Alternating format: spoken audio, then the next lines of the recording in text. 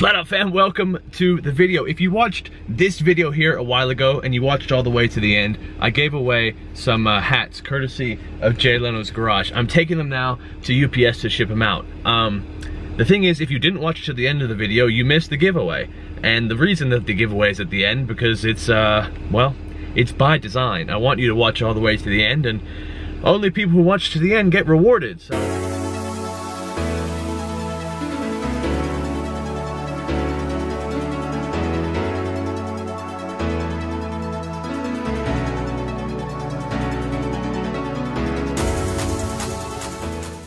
If you are one of the hat winners, your package is now in the mail.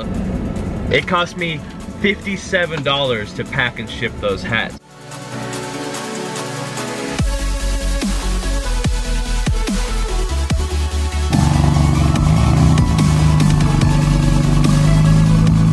Guys, welcome back to another flat out detailing video.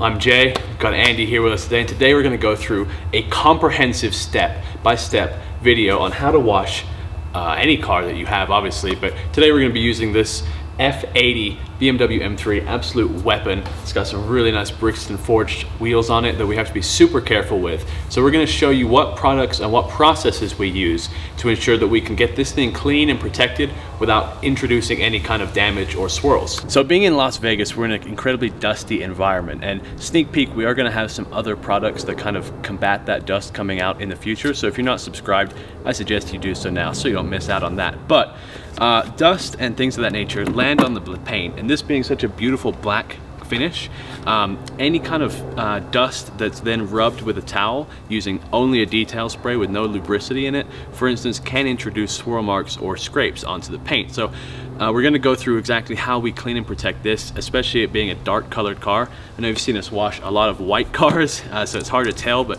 like I said, we wanna keep this one protected. The second thing that we need to be overly concerned with is the wheels. These Brixton Forge wheels are custom made. They're about $8,000 a piece. Oh, well, for a set of four. So uh, we want to be really careful that we're not spraying anything on these wheels that's going to introduce any kind of etching or any kind of damage. So uh, we're going to go over that and then also, kind of a kind of a fun thing is we uh, we got these. So basically, a lot of the times what happens with the hose is as you're pulling the hose around the car, it'll get caught between the uh, the road surface and the tire. So we picked up these little rollers, and they're actually really nice. So when you pull the hose, it gives you a, uh, a rolling actuation uh, so you don't get stuck and caught up in the car and then have your hose slapping the bottom of your bumper. And if you have a carbon fiber lip, potentially cracking it. There'll be a link to this and the other products we're using in the description below if you guys have any questions. Uh, let's get right into it.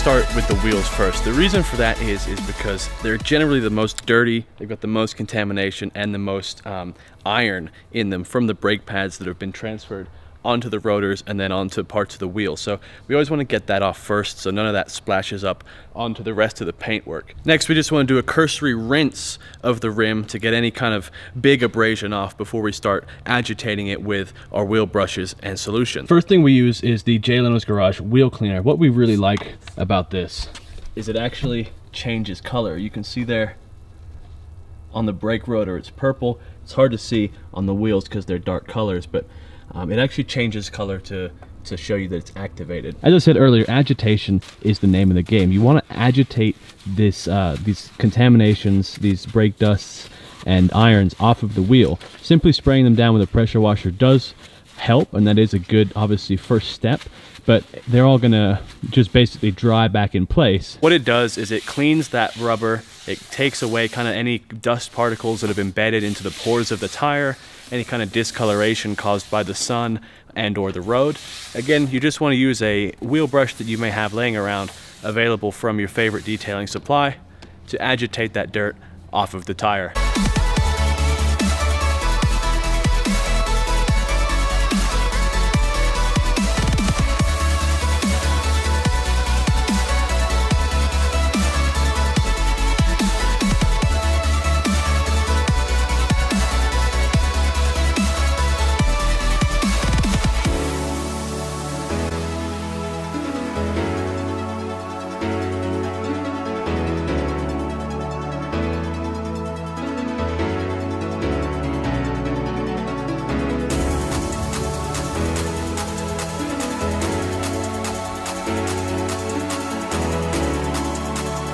So you've seen us now rinse the car off. We used our MTM foam cannon to uh, basically provide that first layer of lubricity. Uh, the Jay Leno's Garage Vehicle Wash comes with, I think, about a 7% wax content. So it gives uh, a good kind of water repellent, but also gives us a nice lubricity um, to use the wash mitt to then agitate the rest of that dirt off. A couple of points that you want to make sure that you follow when using a wash mitt. First off, you'll see Andy using the two bucket system. The bucket that is blue, he's using to essentially rinse the dirt off of the wash mitt. It's got a grit guard in the bottom that we're twisting to get any kind of debris off of the wash mitt. We then dunk it into our second bucket or the clean bucket. What that does is give us a nice clean wash mitt to then put onto the vehicle surface. You always want to make sure that you are basically following the direction of the wind is kind of what they say. So as, obviously as we're driving, the wind goes this way. So we want to make sure that we're keeping a consistent level of, um, a consistent stroke along the vehicle and not rubbing it like we're doing wax on, wax off. If you're gonna create any kind of damage or you're gonna introduce any swirls to your paint, this is really the main place that you're gonna do it. So you wanna be super careful when uh, performing these. If you need to spend a couple extra dollars on a better wash mitt, uh, we use one from Jay Leno's Garage, but they're available from all kinds. The Rag Company has really nice ones as well. Um, those kind of, the, the noodle ones that they call, I'll put a picture up that you get at AutoZone. Probably would stay away from those because it does trap debris and that grit guard doesn't always get it out.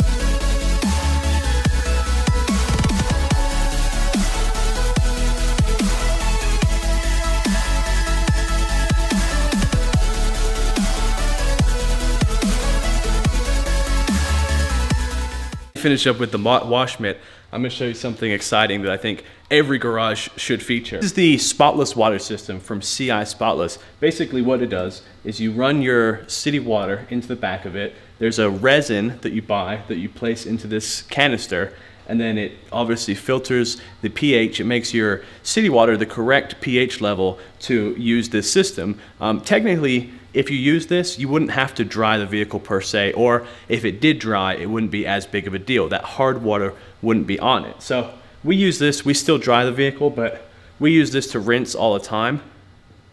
If we're just doing a quick wash, then obviously we'll just rinse the vehicle with this, give it a quick dry. But since we're doing a, a full in-depth wash today, we're gonna be using this and then taking further protection steps and using uh, Jay Leno's Garage Evaporate. But these are absolutely critical. They range from, I think, 90 to $250 depending on the capacity. Um, and then the resin that you buy lasts about maybe three or four months and it's about $45 for the pack. So a great investment for an at-home detailer.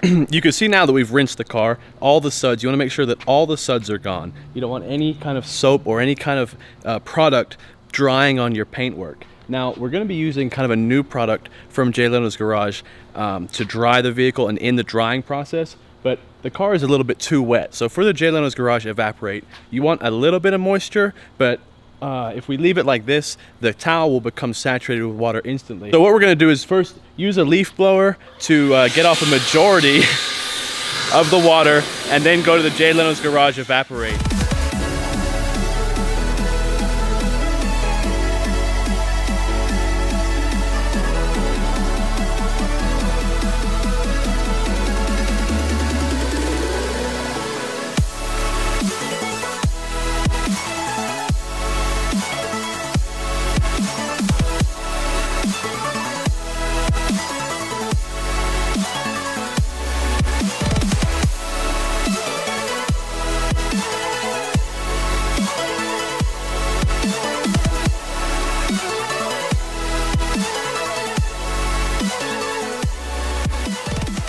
About this product before. It's the Jay Leno's Garage Evaporate. We did a full review on kind of the Jay Leno's Garage product line, but we didn't go very into depth with this, which is what we're gonna do today. So as we talked about, we blew off most of the water, but you can see there's a, still a little bit of soap scum left over. Even though we were incredibly careful um, with our process, with our rinse, like I said, you wanna make sure that all the soap scum is off. So Um, a lot of people use a detail spray. We actually prefer to use Evaporate um, because what it basically does is it leaves, again, a lubrication layer between the paint and the drying towel. However, as you see, this one's got like a chalky kind of appearance to it. That's because it leaves behind an incredible shine and an additional layer of protection. And anytime you're dealing with paint, you want to layer protection as much as possible rather than work down into the paint, you want to build up. So uh, essentially, like I said, there's still some drops of water here. There's still some soap scum left over. So you can either prime the towel. We've already primed the towel. So I'm just gonna spray a little bit on here. And then using the same technique, as when we're using our wash mitt. You want to keep nice consistent lines. And as you can see there, the soap scum is gone and we've got a beautiful protected shine. You can see just in this section, the soap scum is gone. We've got a nice, deep, rich shine and an added layer of protection thanks to Evaporate. We're gonna finish off the rest of the car and then take you to the next step. So anywhere that gets a high level of traffic, like the front bumpers, the top of the hood, anything like that, it doesn't hurt to have an even better level of protection. So after we've done our Jay Leno's Garage Evaporate, um, we're gonna use this CarPro Reload. What this actually does is it puts a silica sealant um, and builds one more step of protection on the hard, uh, basically, you know, the high abrasion areas of the car. It won't stop rock chips or anything like that, but you know every every little bit helps this says it's a water and dirt repellent that lasts up to about six months and because like i said we're in the dusty environment of las vegas any kind of dirt repellent that doesn't allow the dirt to stick to the paint is a big plus. So again, super easy. Give it a good shake to prime, apply it over the hood, and do a nice one wipe for each. So after the paint work is pretty much complete, we find ourselves back at the wheel. Now, one thing I do want to point out is there's some overspray on the spokes of the wheel from the soap, which is perfectly fine. We can get like an all-purpose cleaner and uh, you know, a dark towel, give it one quick spray and just remove any of that overspray or that soap scum that's left over. And finally, we'll talk about tire shine. Now, we have two options for tire shine. We have the traditional Jay Leno's Garage tire shine. This is uh, actually really good type of tire shine because it's got an SPF component in it. Now, I wanna talk briefly about um, kind of the different versions of tire shine there are. A lot of times, obviously, like people just grab the Armor All off the AutoZone counter. Uh, the thing is, is uh, Armor All and things like that and Meguiar's the Hot Shine, stuff like that, it looks really good and really wet for a brief amount of time. The problem is, is not only does it sling down your paint because it stays um, so wet for so long, but it also actually dries out the rubber of your tires. So you'll find that you get less use out of them than if you didn't use them. So a tire shine that has SPF in it, UV protection, or some kind of layer that's actually not only gonna make your tires look good, but also provide a layer of protection, again, especially because of the heat that we experience here in Las Vegas, that's a plus. So we have the tire shine, we also have the Jay Leno's Garage Tire and Trim Care. This one is more of a um, vinyl, rubber, and trim piece protectant. I'm going to show you a clip here of the bedsides on my truck where you can see that there's dirt actually clung to that the pores of that bedside plastic panel. So this is what I would use to clean and protect that because this actually puts a layer that helps prevent water, scum, and, uh, and dirt from sticking to the finish. Because this car is so well taken care of and protected, we're just gonna opt to use the tire shine today. stays in the garage, it doesn't do that many miles, and definitely not in any kind of inclement weather. So again, um, we're gonna put our tire shine to stream, give it a shake, and put it on our pad here. I'm going to overlay a picture here on the screen of some tire shine that we applied to another car about a week ago and you can see exactly how it holds up after about a week. But once you put it on your pad, you want to make sure that you don't touch the paint with it. If you do, you want to immediately move, remove that with a microfiber towel. But you just want to work the tire shine into the tire like so. Again, you want to be careful not to get any on the rim or the paintwork. No big deal if you do, just take your dark towel and wipe it off the wheel. Last and final step, if you're only doing the exterior, is obviously the glass. You know, the glass is where anybody that gets in to drive, that's the first thing you're gonna look through is the glass. So you wanna make sure that you use some kind of good streak-free glass cleaner with a clean, lint-free microfiber towel to clean your glass. Again, all the products that we use will be linked down in the description below. Please feel free to leave a comment or direct message me on Instagram if you have any questions about processes, things of that nature that we went over today in this video. Let's take a look at the final product.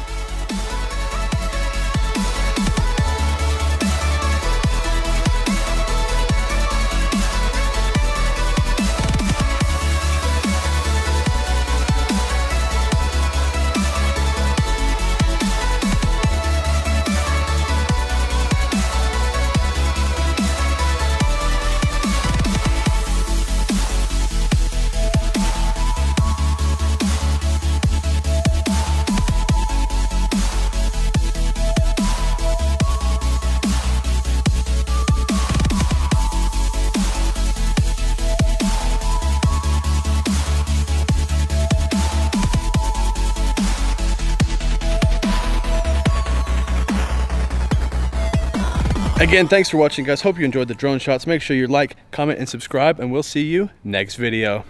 Ryan Little. Yoga.